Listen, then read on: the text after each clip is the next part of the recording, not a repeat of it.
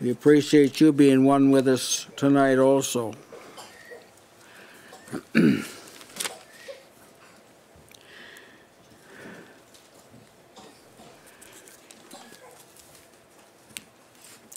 Tonight we begin the 20, uh, the 31st chapter. We'll deal with the first 21 verses.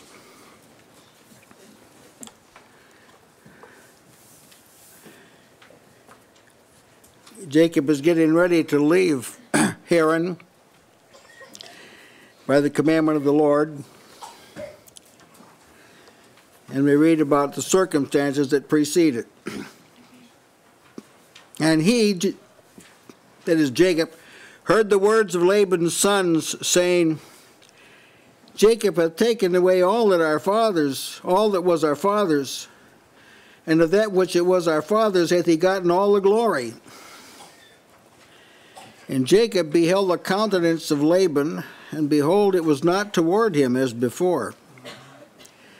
And the Lord said unto, Lab, unto Jacob, Return unto the land of thy fathers and to thy kindred, and I will be with thee.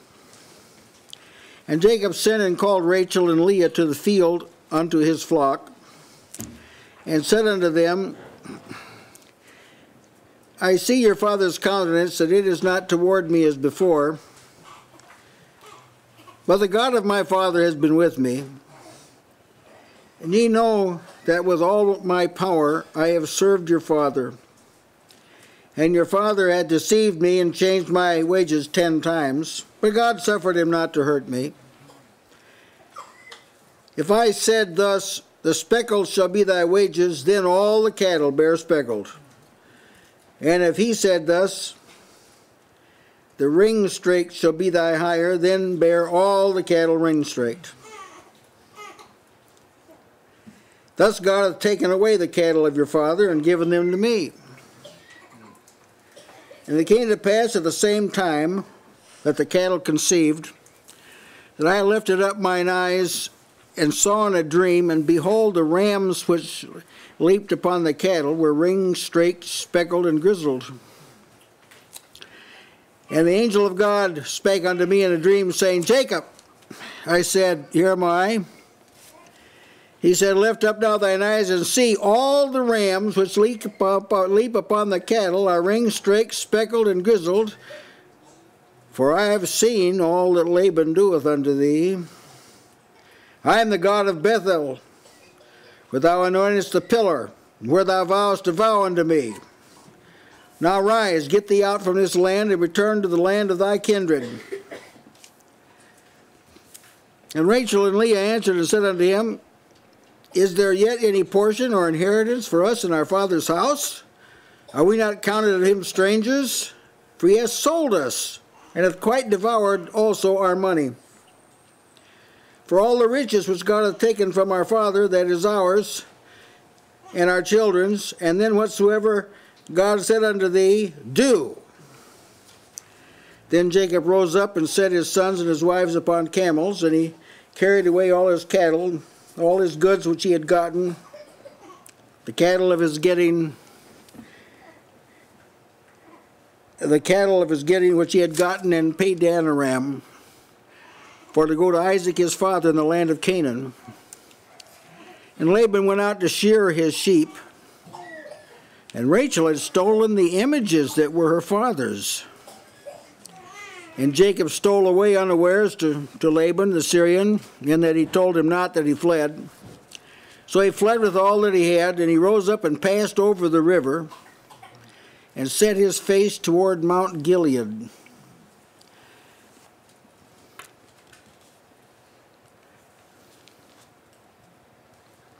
And it was told Laban on the third day that Jacob had fled.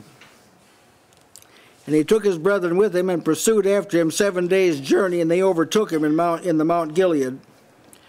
And God came to Laban the Syrian in a dream by night, and said unto him, Take heed that thou speak not to Jacob, either good or bad. Then Laban overtook Jacob. Now Jacob had pitched his tent in the mount, and Laban with his brethren pitched in the Mount of Gilead. Amen. Amen.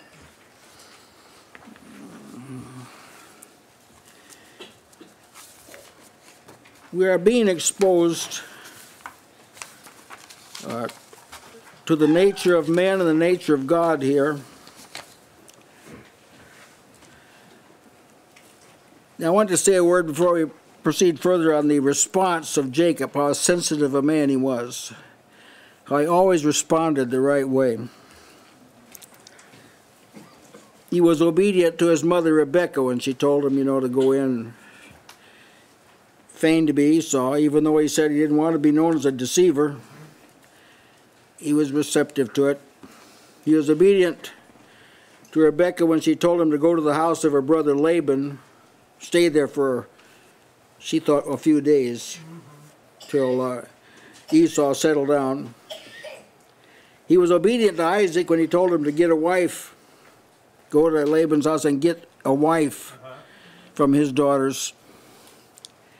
He responded with thanksgiving to a vow, with a vow to the revelation of God to him in a dream concerning, regarding his safety. And he obeyed the Lord when he told him to return to the land of our fathers, which is our text. So see, he was consistently responsive. When the will of God surfaced, in whatever form it surfaced, he was he was receptive to it. But Jacob is represented as a sensitive man, not as a deceiver. I want to underscore that again because yes, people have represented Jacob as a deceiver and a trickster. Uh-huh. But here's the Holy Spirit represents him consistently. I say consistently as a sensitive person.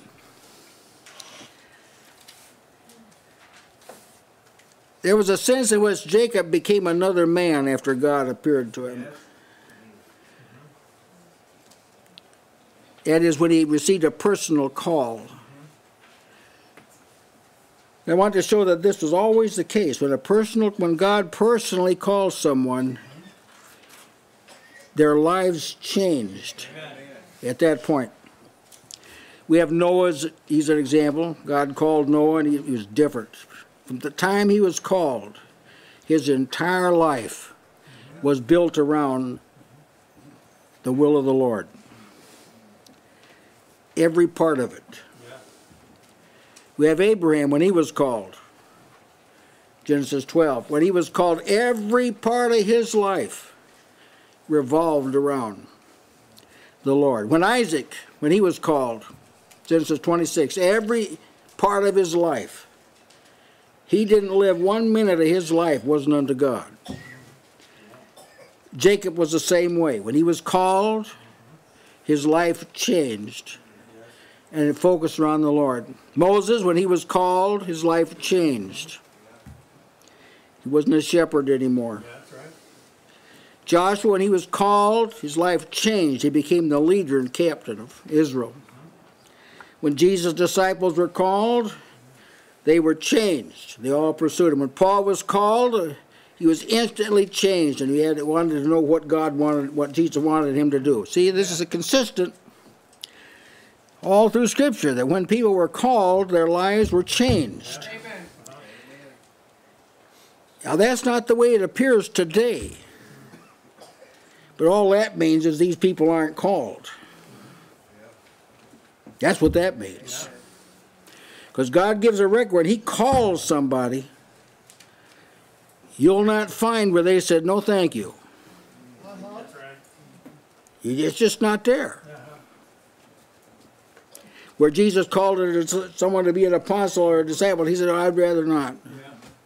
I know there are types that come follow me, but that's see, that's not the kind of call I'm talking about here. Now, it's no different now. God's still calling people. And they're different. When they realize the call, they're different. You say, what about those people that seemed as though they were once responsive? They forgot the call. They're not thinking about the call. I mean, you may you may be gracious toward them and considerate and benevolent toward them, but the bottom line is either they weren't called at all or they forgot to call ahead. Now we know this because of what we're called to. Now it's, it's impossible to be called in the sense we're talking about now. whom he foreknew them he also whom he foreknew them he also predestinated to be conformed to the image of Son, whom he predestinated he them he called. That, that, that was the ones we're talking about. Scriptures tell us we're called to be saints, holy ones. That's what the call's in order to. Abram was called in order to possess the land and bear a seed. Isaac was called to inherit the land and continue the seed. Jacob was called to inherit the land and continue the seed. We're called to be saints. So someone that professes to be a Christian is not a saint. They're not holy. That's right. Yeah. See, they contradict this. Uh, yes. And I prefer to believe God is not a liar. Amen. We're called to liberty. Galatians 5:13 is liberty from law and liberty from constraint, mm-hmm. freedom to walk in the will of God. We're called into the fellowship of mm-hmm. God's dear Son. We're called to his kingdom and glory. Mm-hmm. We're called to holiness. We're called to eternal life. This is a call now. We're talk about a call. Now, this is not a philosophical call we're talking about. This is a real call that we're talking about. We're called to receive the promise of an eternal inheritance. We're called out of darkness into his marvelous light. We're called to suffer for Christ. We're called to inherit a blessing. We're called to inherit glory. See? Now, from the time this call that affects these things, whatever does not affect these things cannot be called a call, the call. Yeah. That's right. I'm sorry, these people might have something, but they don't have the call. Amen. Do you think God's going to call someone and these things that He calls you to is not realized? This reflects on the integrity of God. Well, somewhere along the line, the pretension is entered in. The call of God results when you're called, He calls you out of the world. When He calls you, it results in a distinction of character. the call itself changes you. You're not the same. It separates you from the course of the world. You're called out of darkness into His marvelous light. So if that doesn't, if that isn't realized, how can you prove you've been called? You know, God calls everyone. Well, there is a sense in which He does. A general call goes out. That's true. But that's not the call that saves you. We're called through the gospel, as expressly stated in 2 Thessalonians 2.14, He called you by our gospel. So when the gospel goes out, there's divine influence that accompanies it. The Holy Spirit accompanies it. The grace of God accompanies it through the gospel, he calls you, and God, through that good news of Christ, Jesus Christ, who is the embodiment of the gospel, God works through that call, through that message, to call, effectually call the people. But what if that message is not preached? Then God doesn't call. Yeah. Amen. I'm telling you the truth now. Amen. Some churches are sitting in the presence of a presence of a silent God. Uh-huh. God isn't doing anything in their assembly. Why not? Because they've neglected the message, the means through which He works. You table this message, the arm of the Lord just folds up. It's not going to be toward that whoever neglects this message. I come from a background where the me- the gospel was a neglected message. Mm-hmm. If anyone says it wasn't, they just do not know what they're talking about or they're flagrantly dishonest. One or the other, because there was rarely any kind of development of, at all mm-hmm. about what Jesus did when he died, what, why he came, and there was very little, if any, development of that. Consequently, people's hearts weren't touched with the call. People weren't inclined. That's why. Yes. Amen. See, there are people that have had hearts that were hard against Christ, like Saul, when the call came. Mm-hmm. that was something else. Yeah, Brother Given, it's an evidence that people don't believe that it's the power of God and the Yeah. salvation when they try to manufacture the same effects with other things. That's right. See, they. Some people are willing to believe, it- say it's the power of God in the initial salvation, uh-huh. and when you first are saved. That, but they don't see the issue of sanctification. See, the, the message of the cross mm-hmm. is essential not only for justification, but for sanctification. Amen. If your life's not set apart to God, you can't get in. Mm-hmm.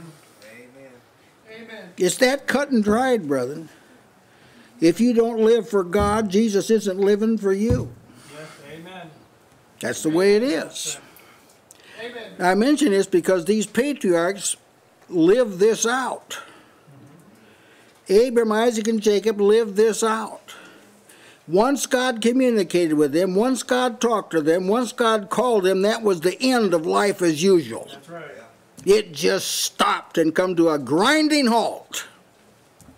They even got to get in a different environment. Amen. So this is what's happened to Jacob. Jacob, here's uh, how let's get into the text. Jacob heard the words of Laban's sons. Now we don't know when this occurred or how this occurred because Jacob's sons were three days, you know, 45 miles away, mm-hmm. at least. Yeah. How did he hear this? Unless he had really sensitive hearing, you know. How could he hear this? Well, it's my own persuasion that he had taken the his sheep that had been born to Jake to Laban's flock by a, agreement. The speckled, the spotted, and the ring streak belonged to him. So he must have merged, taken the flocks up there and merged them. And when the son saw this big multitude of sheep coming, Yeah. they made this charge. Yeah. Yes, but Could it, could it also be that periodically or from time to time Laban would send his sons to check on the flock where Jacob, Jacob was to see Yeah, what was it- really happening?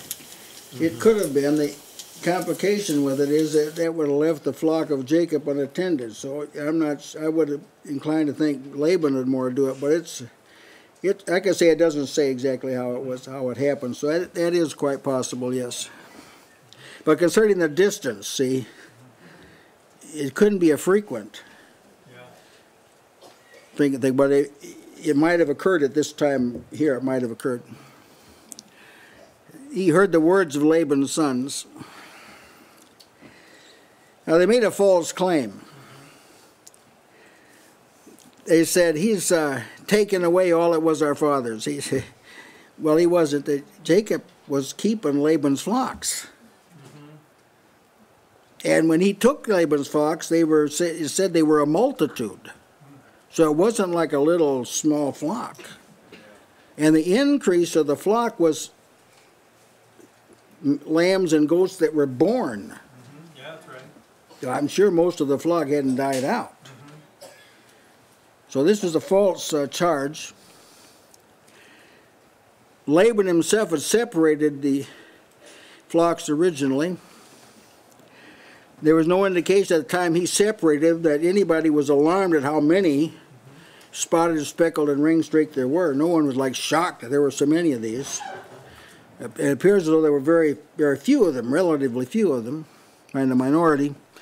And when he gave them to the to his sons, there's no indication that they were alarmed. Boy, this is a large flock. It didn't start out that way, apparently. So in the intervening six years, 14 years for Rachel, for Leah and Rachel, and and then he's there 20 years, so six years he'd been keeping the flock. So in six years, this dramatic increase had happened. In six years, and they, when they, however, Laban's sons became aware of it, they saw it. It's, this looked like he stole everything, took everything. Now, while uh, Jacob is relating this, he, he tells it says that he beheld the countenance of Laban. It wasn't the same. So whether they had told Laban or not, we don't know. But Laban had been suspicious about something because he, the countenance of Laban was not the same uh, toward Jacob. Now, God has made mankind so their feelings are projected in their countenance. Yeah. You can look at a person's countenance, you can tell when they're cast down, you can tell when they're happy, you know. Why? Why did he do that? I mean, that's the way men are made. That's just how they're created. It's hard to pretend you're happy when you're sad. Uh-huh. In fact, I don't know that you can successfully do it. it's because man's made the similitude of God, and God has a countenance. There's a, there's a way which man can be sensitive of how God feels about him. Now, some people, they never get close enough to God for this to happen. They live at a practical distance from God. They're always a, uh, at a distance. They can't be sensitive to this. But for those that are sensitive about it, the countenance of God can be detected toward how it is towards you. For instance, Aaron is told to say, The Lord lift up his countenance upon thee and give thee peace. Well, see, there wasn't some way of recognizing that. Now, in the under the old law, it was generally by some by the exchange of external circumstances, increase, food, whatever. Psalm eleven seven says, The righteous Lord loveth the righteous, loveth righteousness, his countenance doth be wholly upright. So when a person is upright in a world where you where pillars fall down, when they're upright, if they're tender of heart, they'll sense God is, I'm pleasing God in this. This is not like an achievement, this is something that pleases God. David he exhorted himself when he was uh, cast down. And you, um, you need to learn to pray this. When you're cast down, don't gripe. Pray this. Amen. Talk to your soul. Why art thou cast down, O my soul? Why art thou disquieted within me? Hope thou in God, for he shall yet he shall yet praise him for the help of his countenance. So even down when you're down in the in a pit of suffering, or in the in the mud of hardship, if you can sense that God is pleased with you, like it doesn't affect you, you're able to Amen. you're able to stand. Are you gonna talk some more about these, these? Yes. Okay, I'll wait see. The multiplication. No, about the, the type of Oh, sheep. Uh, Laban would not have been upset about a multitude of sheep. That's an increase for him. But whenever Jacob said, he's changed my wages ten times. yeah. It's right. He says if you, if your wages are gonna be the speckled, then they bear speckled. Mm-hmm. And if he says, no, they'll be the ring straight, then they started Oh, bearing yeah. the ring straight. Yeah. So he, Jacob could see the Lord in this, Mm-hmm. but the fact that, that Laban's countenance was not toward him, it, it doesn't present Laban in a very favorable light. Mm-hmm. Because Laban was just fine with Jacob taking the loss. Mm-hmm. He did. He didn't want someone doing to him what he was intentionally doing Yeah. to Jacob. Yes, that's right. Mm-hmm. Amen. Yeah, I'm gonna I'm gonna spend a little bit of time on that from that aspect. Mm-hmm. But I want to underscore that familiarity with God brings a certain sensitivity of His good pleasure. Amen. Now, if this is hard to understand, make it your business to understand it. Yes. Make up your mind you're going to understand this. Go to God with it. Make up your mind you're going to understand this. Set yourself to it because this is the truth, what I'm telling you. Yeah. If your heart's tender, you'll know when God is saying, Well done, good and faithful servant, well done. You'll know when He said, Ah, you shouldn't have done that. Yeah. Yeah. You'll know that too. How else could you um, be able to delight yourself in the That's Lord? right. I mean, exactly how would you do that if, if this wasn't the case? Amen. But see, His Holy Spirit living in you brings this capacity, Yeah. but it has to be refined. That's right. Yeah. And the Lord said unto Jacob, Return unto the land of thy fathers and to thy kindred. Now he'd gone to Mesopotamia, to the area of Haran, to obtain a wife. But God also intended that Jacob obtain a family and some possessions that he could take back to the promised land. So now that this had happened, he's got his wives, got his children, got his flocks. Time to go back. Now, previously, we read of what several people said to Jacob. So it says, God said unto Jacob. Esau said to Jacob, Genesis 25 30, when he said, You know, give me that, some of that stew. Isaac said to Jacob when he sent him out, obtain a wife. Laban said to Jacob, What, what do your wages be? Rachel said to Jacob, but see, all of that, the God said to Jacob trumps everything else. We read that the Lord stood above a ladder one time in Jacob's dream, and it was 20 years previously. This would have happened in 1983. Uh, Is that right? Tw- tw- 1993. This would have happened in 1993. Now, now I ask you, what do you remember from 1993? There, there may be some things, but you, you have to do kind of do some cogitating on it. So he said this 20 years earlier. The Lord stood above and said, I am the Lord God of Abraham thy father, the God of Isaac. The land whereon thou liest, to thee will I give it, and to thy seed. And thy seed shall be as the dust of the earth, and thou shalt spread abroad to the west, and to the east, and to the north, and to the south. And in thee and in thy seed shall all families of the earth be blessed. Behold, I am with thee, and will keep thee in all places whither thou goest, and will bring thee again to this land, for I will not leave thee until I have done that which I have spoken to thee of. Then for 20 years, he never said that again. Now you learn about what faith is. Yeah, amen. Faith is living on the basis of what you mm-hmm. have acquired some time ago. He had to live. He couldn't let this get away from him. Satan threw all kind of trials at him to, to erode this promise. Well, that was a long time ago. See, some people can't wait a week Yeah. or a day. 20 years ago. And this was the first time, that vision was the first time God said anything to Jacob. And he was 70 years old. That's the first time God said anything to Jacob. That's the same age Abraham was, coincidentally, when God first spoke to him.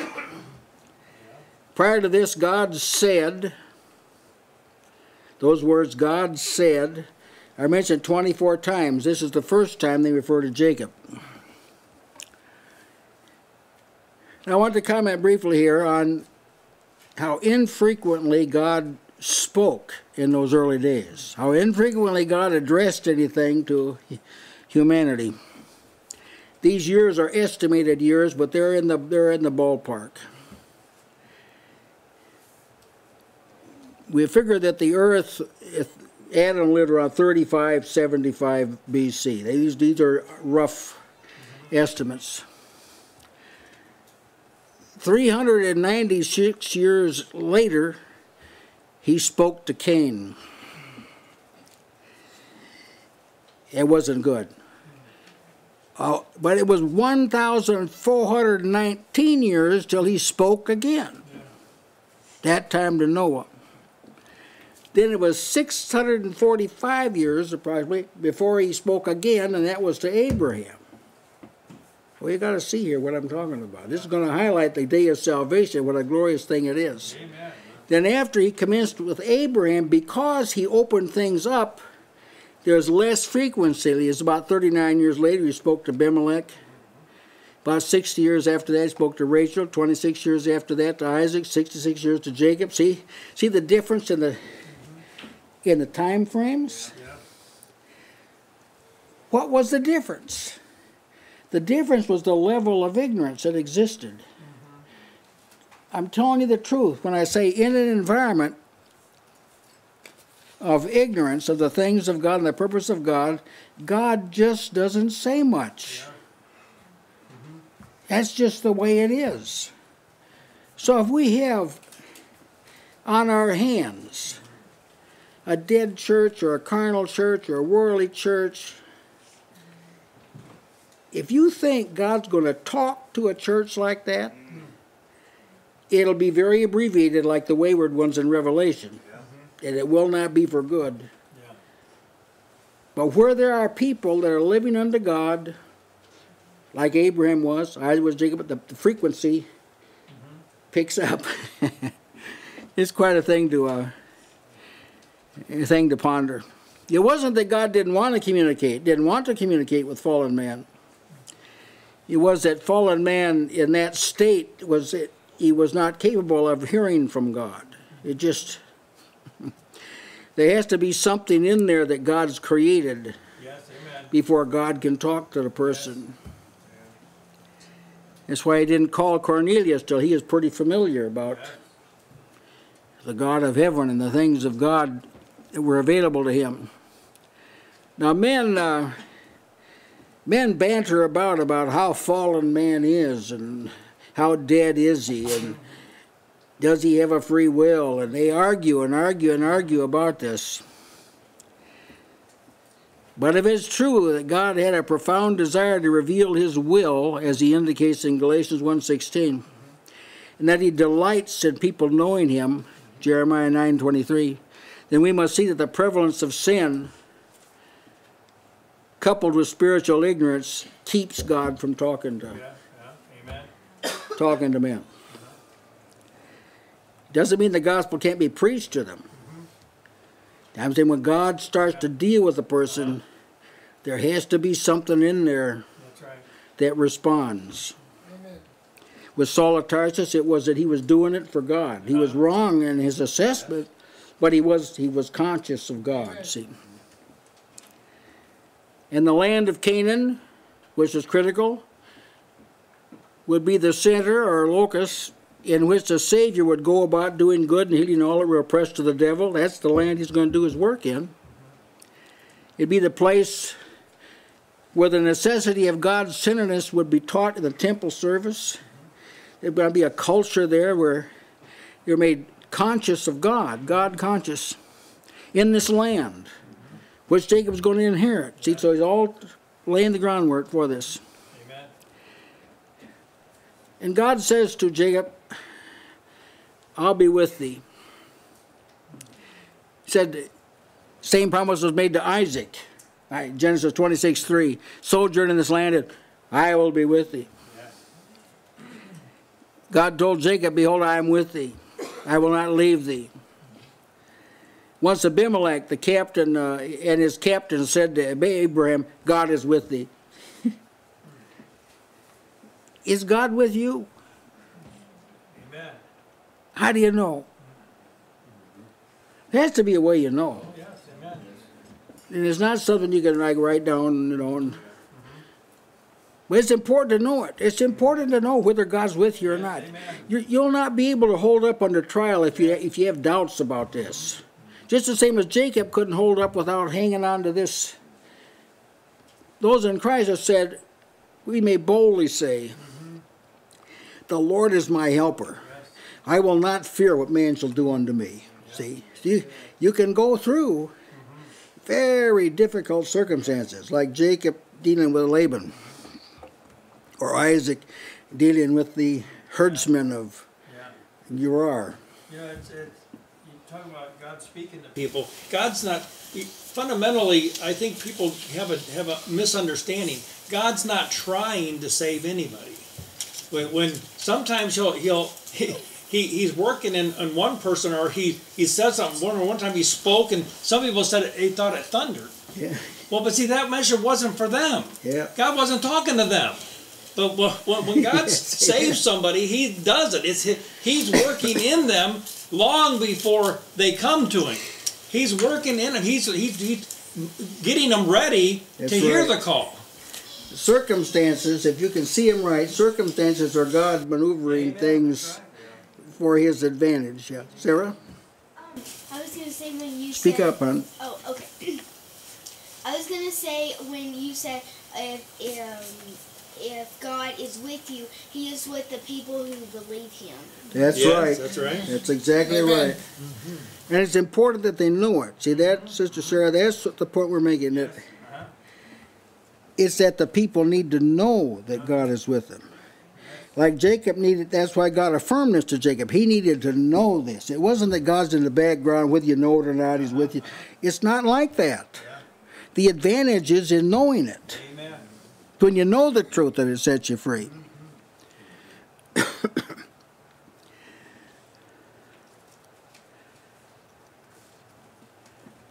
well, upon this, Jacob calls Leah, Rachel and Leah to the field unto his flock. So he was, I gather he was with his flock, not Laban's at this time. He called them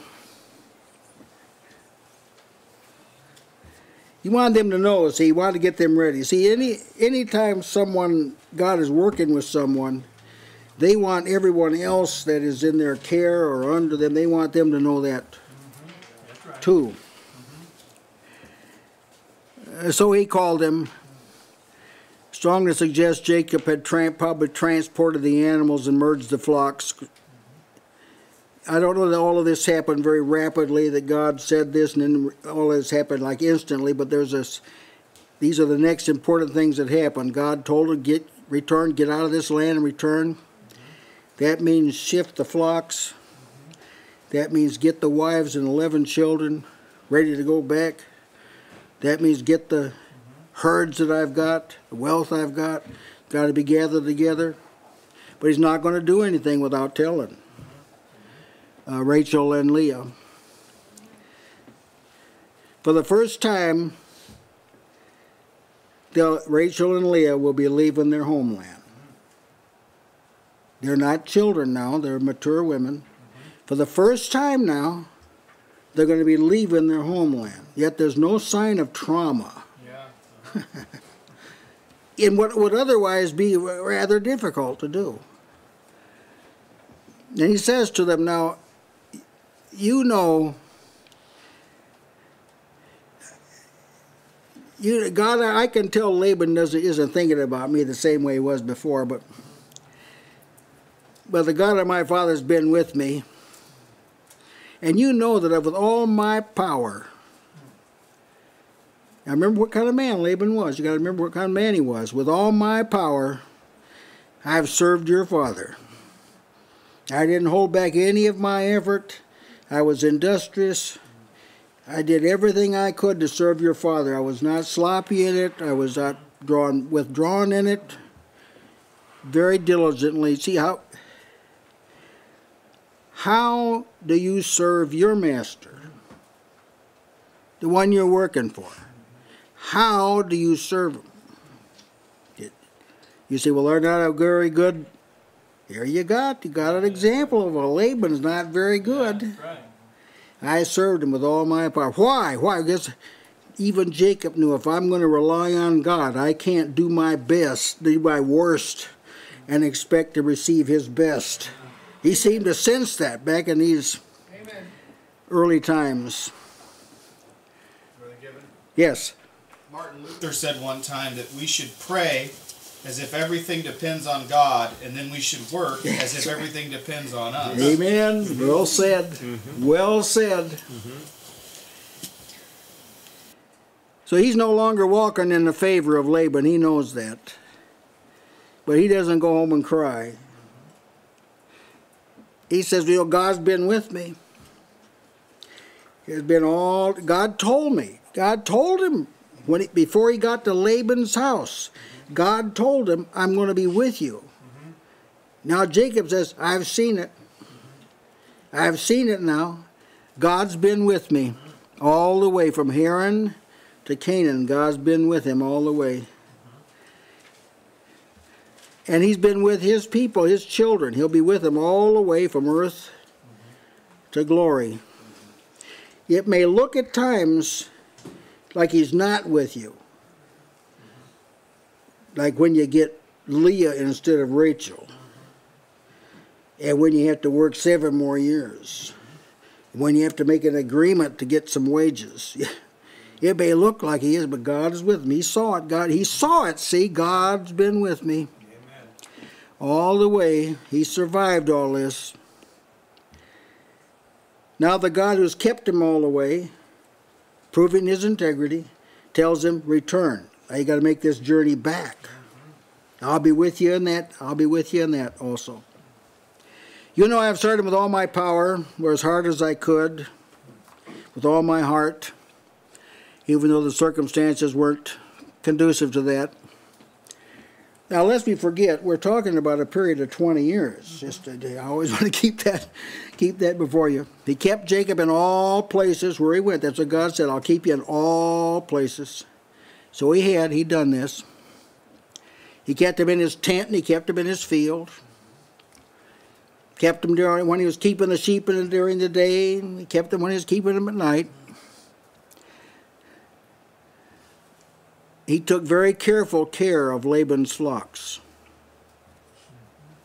And he carefully increased his own flock according to the agreement with Laban. It took a lot of attention now to, to do all this. And you know that your father deceived me, changed my wages ten times. At this point, this is when Sister June mentioned that the wages were these spotted, speckled, and ring streaked animals. As these begin to multiply ten times, now incidentally, they say that re reasonably certain that these flocks bred every every uh, twice a year. So there's a there's a six year period here. Six year period and twice a year, if you lop off the first year, because they were conceiving, that's about 10 times. So it appears that every time the flocks increased, he changed the standard. Yeah. This this time, Jacob, just the spotted. Next time, just the speckled. Next time, just the ring streak. Maybe uh, maybe the spotted and the speckled, but not the ring. But he changed it ten times. See, you have no record of that in there. Yeah. But but Jacob knew it. His wife did not contradict what he was saying. That's right. No, they went along with it, as a matter of fact, yes. Now he said, God, however, God suffered him not, or didn't allow, allow him to hurt me. he couldn't harm me. He, he, the wicked one toucheth him not. You know, he couldn't. He couldn't really do anything of harm. All of his wiles and trickeries and evil intentions, he couldn't. He couldn't really harm Jacob. You know, that apparent liability with Laban actually became a means by which God accentuated his favor for That's Jacob. right. That's exactly mm-hmm. right. See, and so, and you can look for that in your difficulty, some kind Amen. of difficulty. You can see this becomes like an occasion for God to multiply grace to you. Amen. Amen. If it were not for the grace of God, I would have perished. Yes. Remember, God can do this. He kept Laban from harming Jacob. That's right. He kept Abimelech from Uh-huh. defiling Sarah. He said, I withheld thee from sinning against me. I, he stopped, wouldn't let him do it. Yeah. And when Jacob was traveling home, it is written, the terror of God was upon the cities that were round about them, and they did not pursue after the sons of Jacob. It just something came over the people of the region as they were traveling back to, and they were they were frightened. They were didn't want anything to do with this. Yeah. Why? It was a terror of God That's right. came upon them. But again, this is. Him changing his wages like this, and then you can see from this statement that, um, uh, you can, each time Jacob would have seen that it didn't work. That's right. He changed it. Now all I'm going to get is these, and the next time I get a lot of those. And so he changes it because he's trying to, to get the upper hand, but he wasn't able to get the No. upper hand. See, he didn't. Jacob was not thoughtful at the time because the wages were to be paid at the end. when the time, you, it wasn't like incre- he didn't receive his, he didn't pay the wages. The agreement was not to pay the wages incrementally. It's when the time came. Jacob's reckoning on that. Laban's trying to maneuver. their results. When Israel. Uh, God commanded Israel three, to keep three feasts a year. All the males had to go to them. Left the camp unprotected. He said, "Neither shall any man desire thy land when thou goest up to before the to appear before the Lord thrice in a year." No, I'll stop people from wanting this land. Yes, amen. Yeah. How have a lot of us been able to keep what we've got? You ever thought about that? Yeah. How Satan just today tried to inflict damage on our home. And uh, an inebriated woman severely injured some people had to be taken to the hospital and after she collided with them smashed into our fence satan didn't intend for the fence to be damaged God protected us. Yeah, you've got cases like this. and If you look back, you'll see them where God, God protected you. It's no wonder we're told that we can boldly say. That boldly means confidently say, Lord is our helper, I'll not fear what man shall do unto me. So when you're thinking about yourself and your plans and where you're going, all this sort of thing, bring the sovereignty of God into the equation. Amen. Bring that into the equation. Then he comments on how this breeding all turned out. If he said thus, the speckled shall be thy wages. See, that, that's not what the agreement was. It was a spotted, speckled, and ring straked. So if he said the speckled, then all, then all the cattle bear speckled. How's that? So he changed the wages, but he didn't reckon on God. Yeah. And if he said the ring straight, that's what it is. This, this year is going to be the ring straight. Then they bear, then bear all the cattle ring straight. that's God controlling the situation. controlling the situation. Man couldn't manipulate this. See? Oh, that's a. Mm-hmm. that's a blessed thing to consider. God caused everything to work out for Yes. Jacob's good. Now, see, we're told He works all things together for good, they're good to them that love God. This is an example of it. Amen. Not something Jacob did, something God did. Amen. God took the cattle from Laban. He said, That's a God hath taken away the cattle of your father. Mm-hmm. He took them away. How did he take them away? Not by transporting the flock someplace. He took the reproduction, the increase. He took the increase away. You know, there are in certain uh, occupations of entertainment and sports and this sort of thing, people that have made millions and millions of dollars and they're, they're paupers. What happened? Yeah. God took it away. Yes, that's what happened. All right, people, you're going to come, whether they made bad investments or God took it away. That's right. Took the cattle from Laban. Now remember, this record is written hundreds of years after it happened. Moses writes this down hundreds of years after it happened, which means the Holy Spirit, this is how the Holy Spirit wants us to remember this incident. So he inspires Moses to say, God took the cattle away from Laban, and gave them to Joseph. He did this by managing the process of conception. And who but God can do that? He makes the hinds to calve, the psalmist said. Over and above desiring for us to know jo- Jacob in a correct way, God wants us to understand himself. I control spiritual conception. These children of mine, they're begotten of me. Amen. Then, as the cattle were conceiving or breeding, yes, Text that says God is not unrighteous to forget uh-huh. your work of faith and Labor labor of of love. love. See, in that case, you, they did it toward the brethren, but they did it with a mind to God, and so God received it as it having been done toward His name because it was done for His people. amen. And so that's the way it was. He worked, he worked for Laban indeed, but he was working preeminently for the Lord. Amen. And so the Lord gave him the hire that, that. Amen. Now, Jacob's recounting this. As the breeding was taking place, an angel appears to Jacob in a dream. He said, Now lift up your eyes now, look.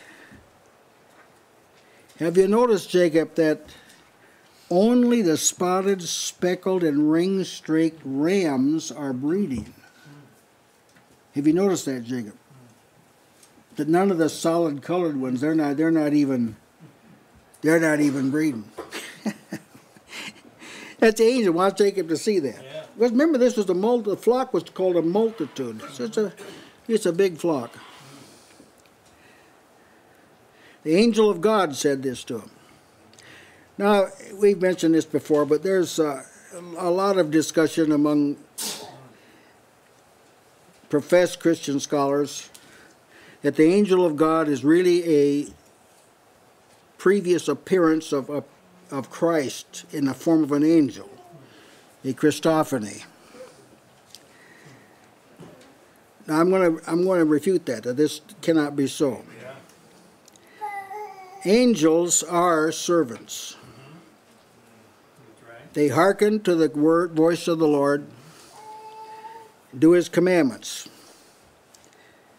And they're called ministering spirits, they're, they're servants. Now, the question is whether the Lord Jesus, prior to his incarnation through Mary, was, was ever a servant. Right? That's the question. No, it was he was in the form of God and he was God.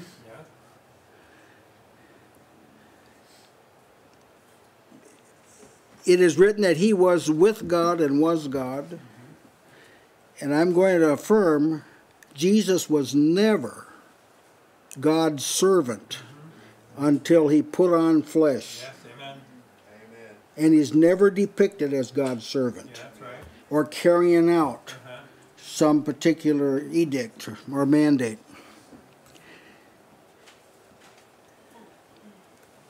So, no, this was not Jesus uh, appearing in a servile form That's right.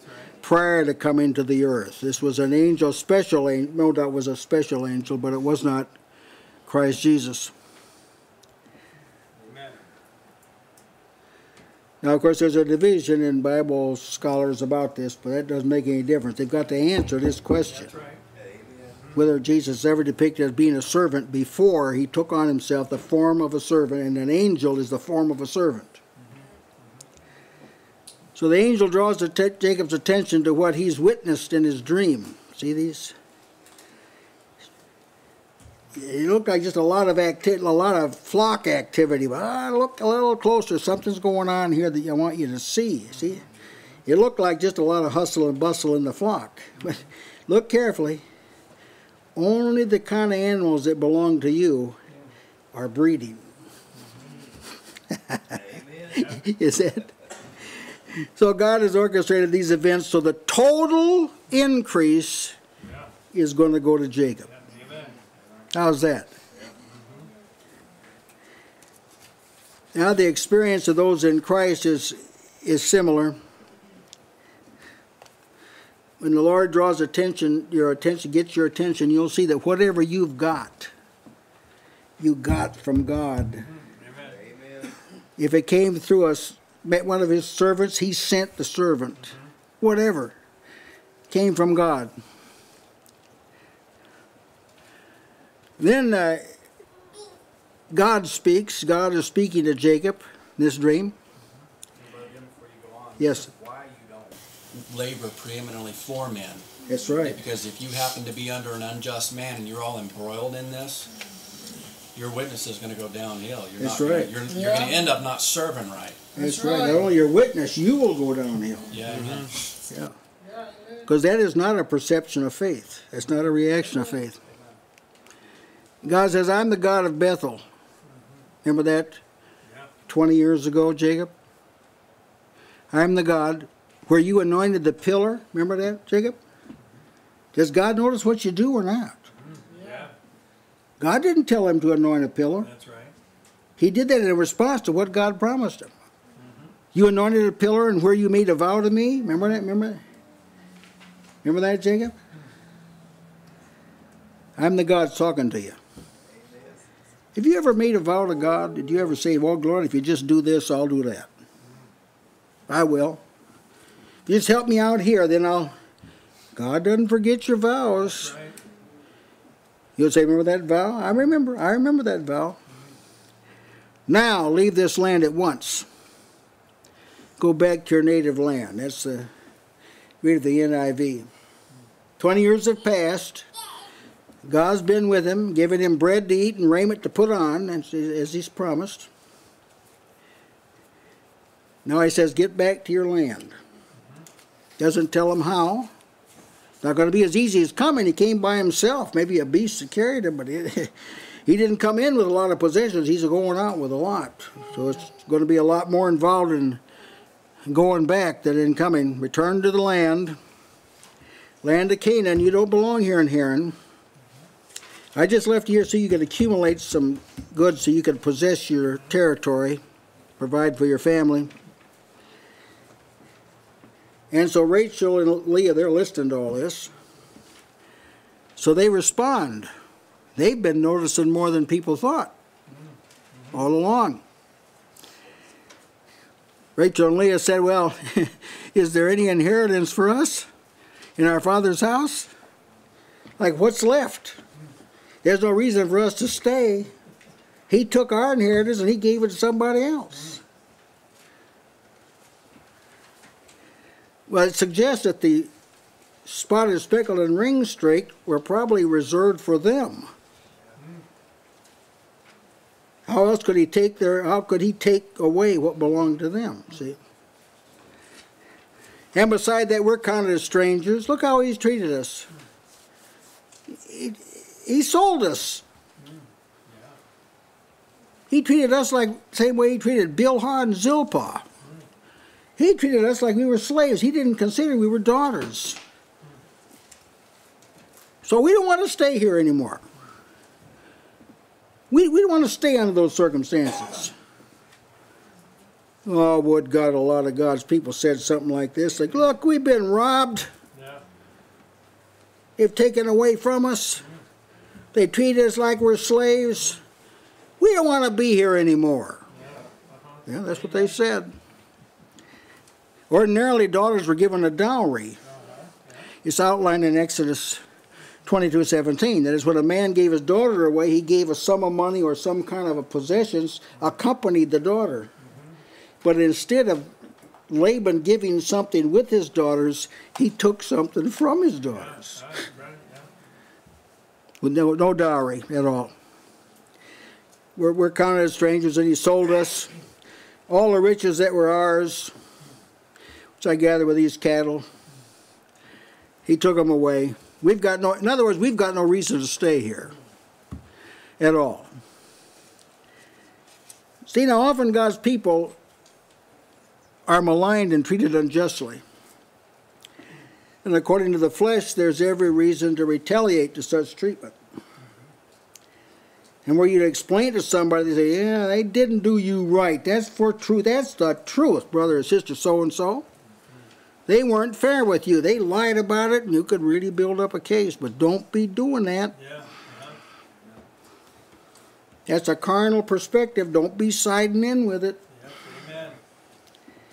Think back of Jacob and Rachel and Leah. They were trusting in God because God said, this is what God said Dearly beloved, avenge not yourselves. Yep. Rather give place to wrath. That is, don't let it don't let it come from you. For it is written, Vengeance is mine, I will repay. I will settle this dispute. The question is whether you believe it or not. Do you do you believe he will or not? I will settle this. See, we got some brethren that have been treated wrong. And there's really, they know, there's not a lot they can do about it. But God is going to do something about it. Amen. When, we don't know, but it is. You just wait on the Lord. He'll take care of it. Trusting God involves believing He'll do what's right Yeah. Amen. when it's right. So they said to him, Whatsoever God has said, do. That cleared the way. That's the last hurdle. Ye, those who are experienced in the uh, kingdom of God, they can tell confirmations when they see them. Sometimes someone will say something or something will happen. It's like a confirmation. And you know, that, that's God saying, Go ahead. Whatsoever he said, whatsoever he said. Very careful. Whatsoever he said, you do. You can say that. You can say, well, listen, my, my advice to you is whatever God told you to do, do. Yes. Amen. So Jacob departs, rose up with all of his sons, eleven of them. And he uh,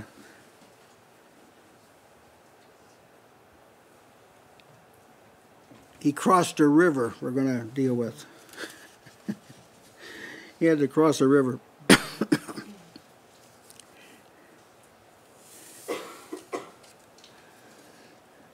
Now, when Angel, uh, all the words spoken to, was spoken to Jacob, I list them out here.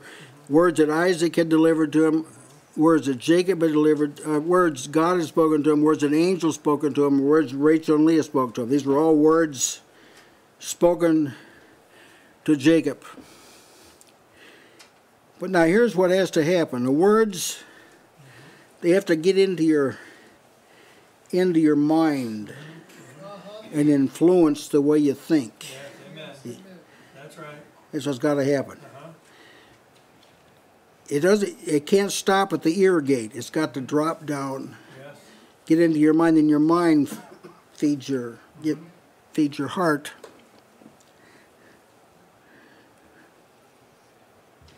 In our times, we're living in a period of time when thought is less productive. This is not a thought productive period of time. As a general rule, professing Christians are very weak in the area of thought and thinking. You'll notice if you ever reason with people, you know, you try and reason with about the things of God, you think, well, these people don't understand what I'm talking about. Uh-huh. that's because their religion doesn't encourage thinking, Yeah. proper thinking. Proper thinking.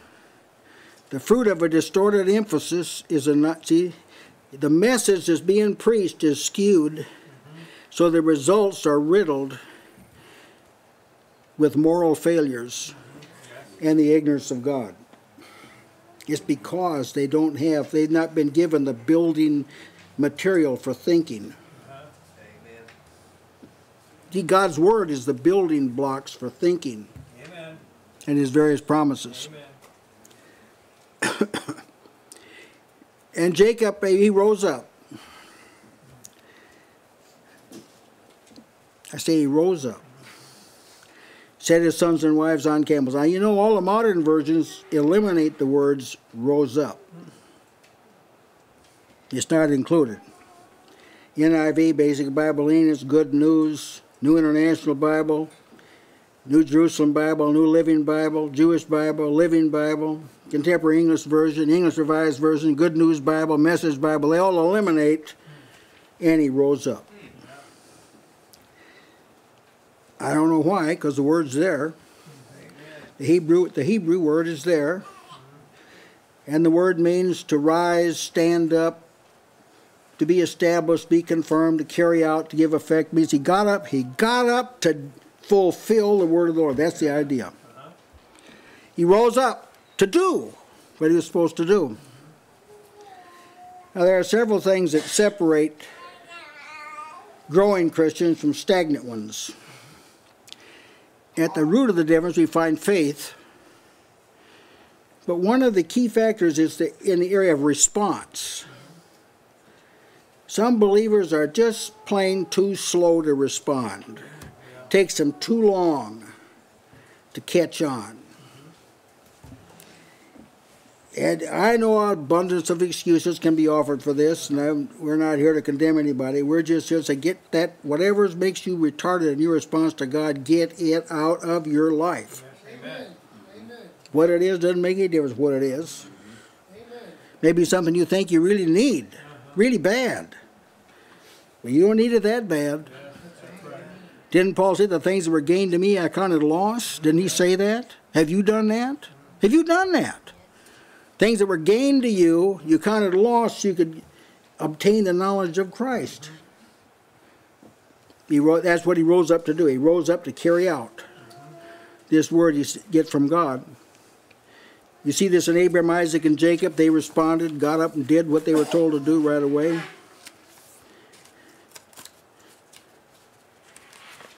All through Scripture, this um, this trait is there. When Saul of Tarsus was called, he got up. Peter and Andrew were called, they got up. James and John were called, they got up. Matthias was called, he got up. they, all, they all rose up, went to the doing of it. And there are some people didn't do that.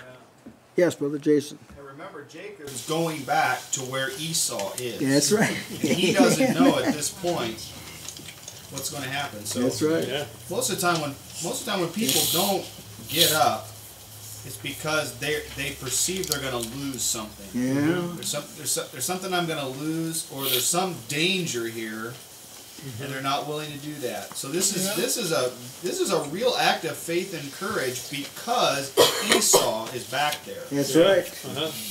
And as you say, he doesn't know what he's going to confront.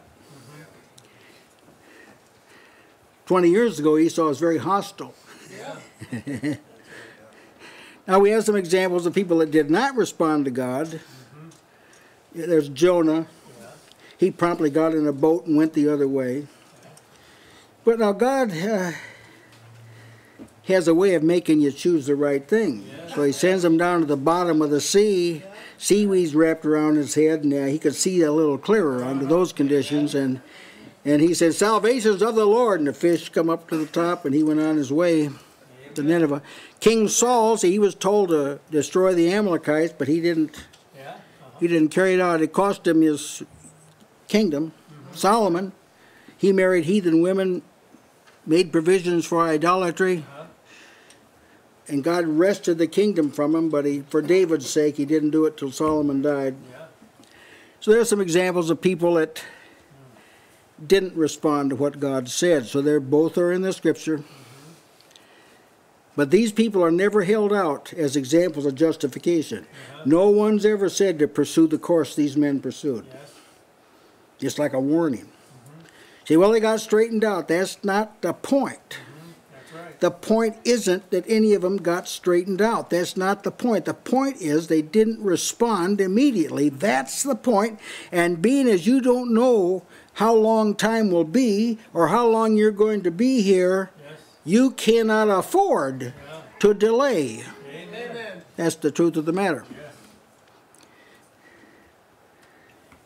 Now, the early modern church does a lot to justify unacceptable behavior. They'll say, yeah, but the Corinthians were bad, but he called them brethren, remember? Yeah.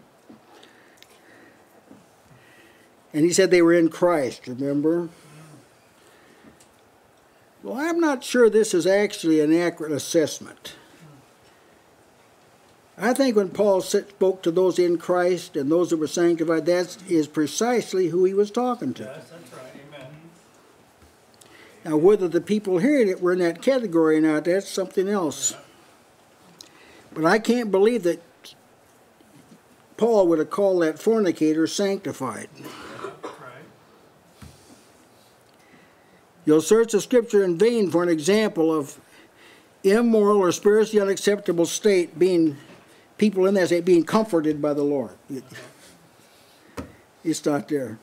They're called to get out of that state. In fact, we're told, don't you know that the unrighteous are not going to inherit the kingdom? Don't you know that? We can say that today. There's a lot of people that are living like they don't know this. Mm-hmm. Don't you know the unrighteous will not inherit the kingdom of God? They that do such things, don't you know they do such things, shall not inherit the kingdom of God? See, the he's word's very plain about this. In other words, affiliation with Christ is not to be taken for granted. Amen. Just because a person says, I'm a Christian, I love God, blah, blah. Well, so we hope that's the case, but we really have to have a little more evidence than that. And so does God.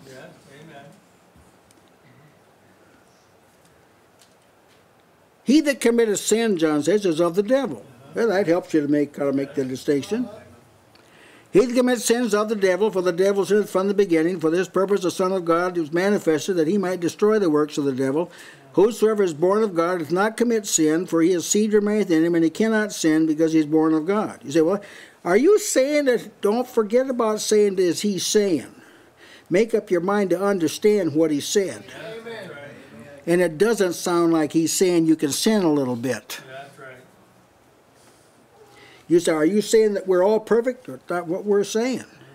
We're saying whosoever's what's whatever's born of God, whatever God has begotten, does not sin. Yes, amen. Period. That's right. Amen. Because you've got something else in you Yeah. that Adam began. Uh-huh.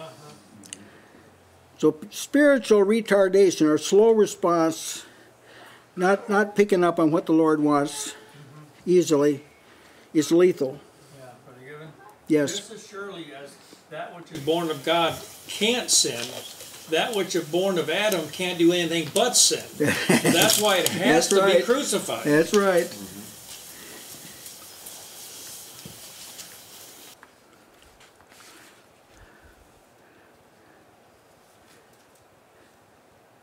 Well, Jacob uh, carried all of his goods, which he'd gotten. I say all the goods which he'd gotten. You say, well, how many goods did he get? Well, you get kind of a rough idea about how much he'd got by the by a little token gift he gave to he offered to Esau. Little little token gift. It consisted of 200 she goats, 20 he goats, 200 ewes, 20 rams, 30 milk camels, 30 camel colts, 40 kine, 10 bulls, 20 she asses, and 10 foals. That's 580 animals. So that give you a little idea, you know, about kind of flock he had. And he left uh, Haran to go to his father in the land of Canaan. He didn't go to return to Rebekah. He turned to return to his father, land of Canaan, because God had directed him to return to his kin. Laban and his family was not Isaac's kin, it was Rebekah's kin. He was to re- return to his kin, to the messianic lineage, so to speak. Now, this, of course, is a picture of our pilgrimage here in Jacob. He went to a foreign country, obtained a wife, then he obtained possessions that were transportable to, to Canaan. Uh, that's exactly what we're doing. We're living in the world. We're not laying up treasures here, we're laying up treasures in heaven. We're storing up things that will transport Yes, to the promised land. So we're, we're doing the same things that Jacob, amen. Jacob did. We've also been told about what's gonna where we're gonna go. Like Jacob told the wives, we've been told this We've is, been we're told, going. amen. Amen. Yeah, it's, it's a joy when you consider it that um, everything that you've ever labored in in the kingdom and labored in order to understand and comprehend and, and you dug it out and it's like gems, but but see, you're laying them all up. You may come to, to a t- point in time in this world where you've forgotten them, so to speak. Your body can't retain them, but you laid them up. They're there. That's right. And and and and since you labored in them, since you you were you were a partaker of them, and, and you have like a, you have like a an ownership of that, in in a sense because you labored for it. Now you're going to get it on the other side. You're going to move in to this inheritance, and of course it's going to be it's going to be eternal. Yeah, you, our labor is not in vain in the Lord. Amen. It's an old story told about a very wealthy Christian who had a slave servant, and they both died. And uh, as they were in the glory, they were taking a tour, and an angel walked by this tremendous uh, mansion. And the man is wealthy. Said, "This this must be my place." He says, "No, this is uh, this is your servant's place here." They went down and they found a small, very small. He said, "This is your place." And the man said, "Why?" He said, "Well, your servant sent more materials ahead." well, it's a kind of a clumsy picture, but that's sort of what it's like. Now, about this time, Laban goes out to shear his sheep. At this point, he's going to find out about the spotted, speckled, and rain streak, because I imagine their wool wasn't as valuable as the pure, pure white or pure black wool. So he went out to uh, shear his sheep, and uh, while he was gone, Rachel stole his images, idols. They were his father's, his her father's. Several, several versions use the word teraphim, which is a transliteration of the word used here. It means idols or images, false gods. Now, there's a lot of ideas about why Rachel did this. I, I list them here. Some of them is because she was trying to take away the gods so Laban wouldn't worship him anymore. And various ideas. From is written here and what follows, Rachel surely wasn't surely wasn't thinking about Laban when she did this, because later after they're at Bethel, Laban confronts his household and he says, "Put away the strange gods that are among you, and be clean, and change your garments, and let's arise and go up to Bethel." I'll make there an altar of God who answered me in the day of my distress. Let's get get those clothes off you've been wearing while you had those idols. Get change your raiment. Get those idols out of here. So that's telling me that it, this was not a uh, in consideration of Laban that she did this. Now, whatever whatever we may think about Rachel's actions, it's got to be remembered that she was in relative ignorance compared to us.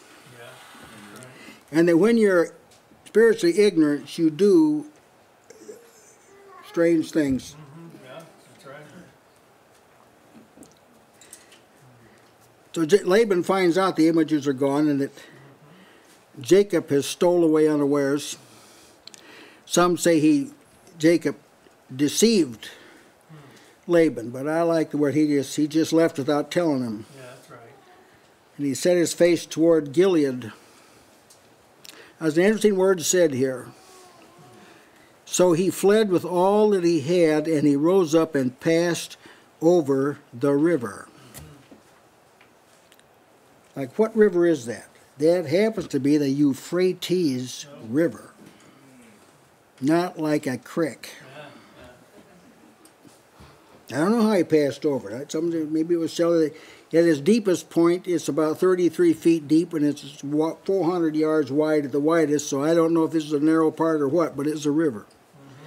And to get to the promised land, he had to cross over this river with his wives, with his children, with all his flocks. Uh, It was, uh, doesn't say how he did it, but Jacob had to think that thing out. And he had to be, he had to do it hastily. You couldn't like do it in slow stages. You had to get this job done.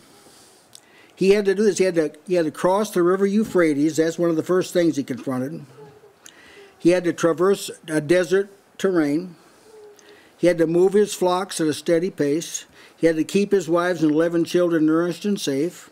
He had to keep his flocks fed and watered, keep the animals on which they traveled fed and watered, and be protected from the perils of robbers. This was not a journey on nice highways and city streets. it wasn't that kind of journey. And when it says Jacob fled, it means he left suddenly and with haste. And believers there are also said to have fled to Jesus for refuge.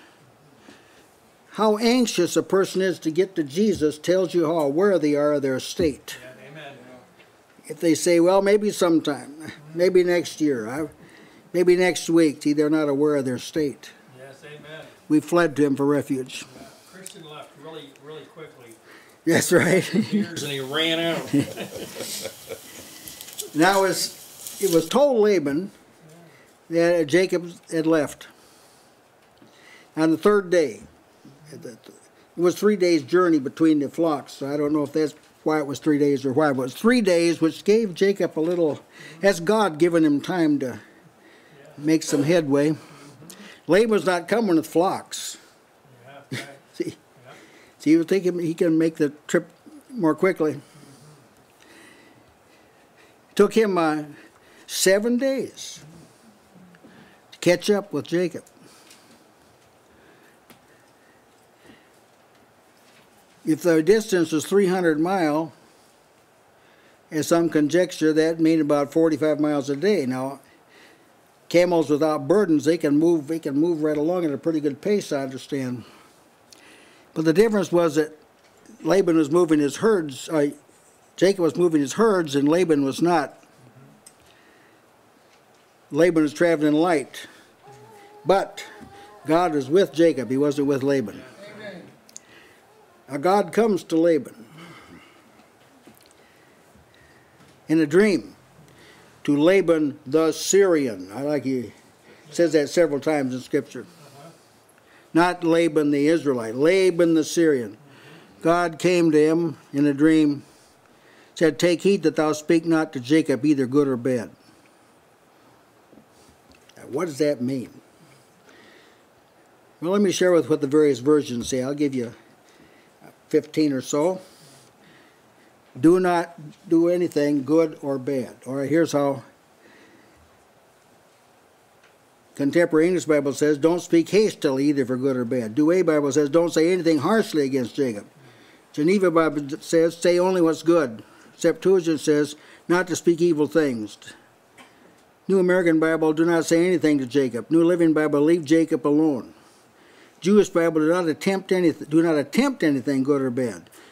Young's literal translation: Take heed not to speak from good unto evil. Living Bible, do not give Jacob your blessing or curse him. Brenton, do not speak evil things at any time. Contemporary English Version, do not say a word. Do not even not do not make a threat or a promise. International Standard Version, be careful of every word you say to Jacob. Be careful what you do to Jacob, whether good or bad. Message Bible. Do not speak from good to bad to Jacob. Speak peaceably, then violently. Amplified Bible. So there you have uh, 15 different clarifications of the text. The word del- delivered is important because it says take heed.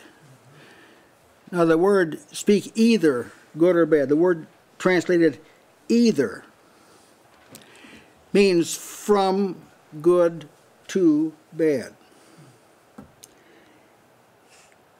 Now, this is what I think he was saying was don't greet him with a hug and then stab him in the back.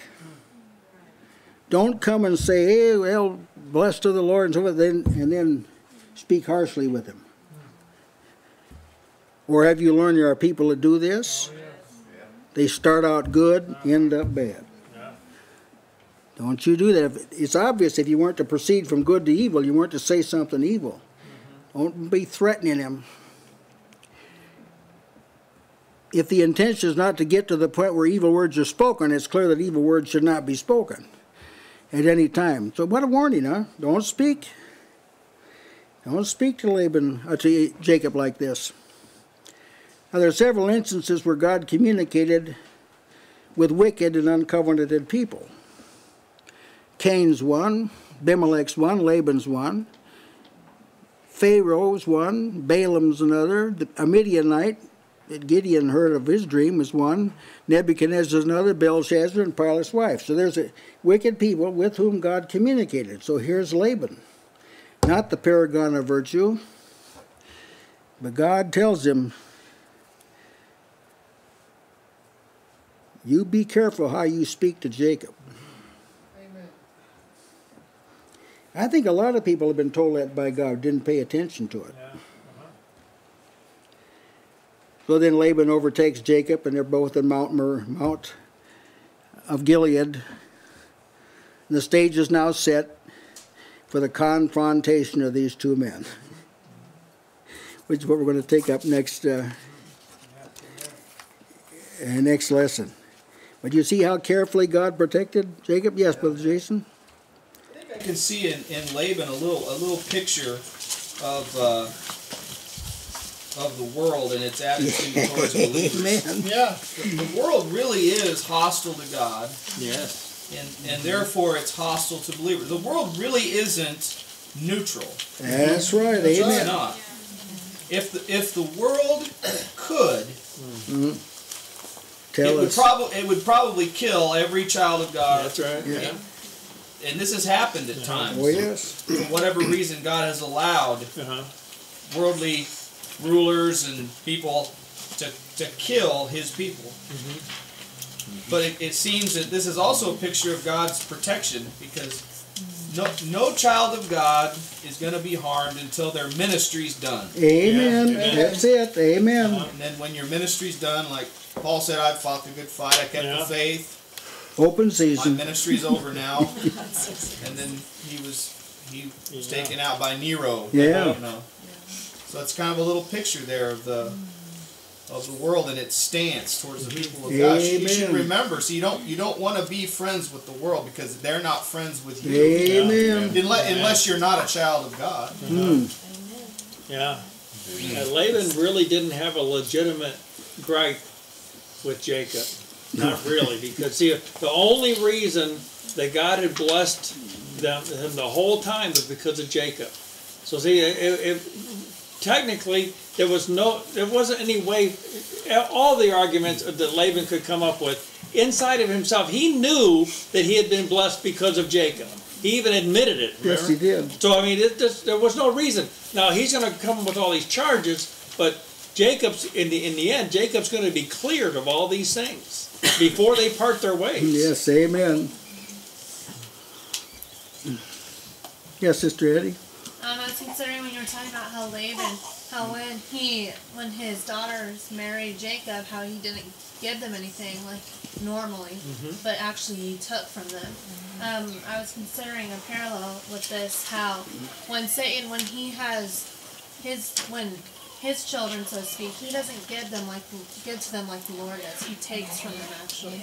But when the Lord, when he has his children, he gives to them. He doesn't take from them. Yeah. Amen. Yes, Rachel? I was thinking that um I was thinking Speak that up, honey. God kept Jacob because um he was faithful like he did for the Lord. Yeah, that's right. Amen. Sarah? Um, I thought when she said that um, uh, the Lord uh, might destroy the devil, but I thought that He will destroy the devil. Yes, amen. Jeremy?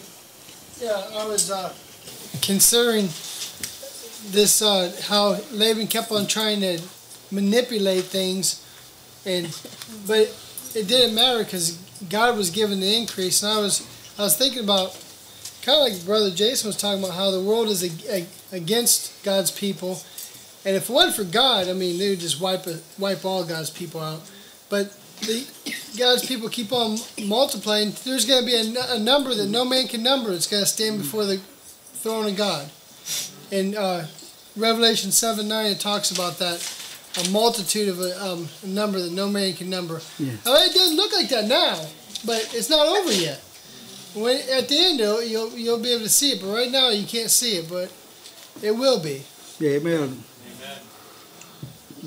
Dallas? I liked whenever you were pointing out how Laban kept changing Jacob's wages. Laban kept changing them because he thought that it would increase his cattle mm-hmm. and his things. Mm-hmm. But God made all his cattle, all his cattle bear the speckled and the ring streaks. Yes, amen. Amen. Yes, Anna?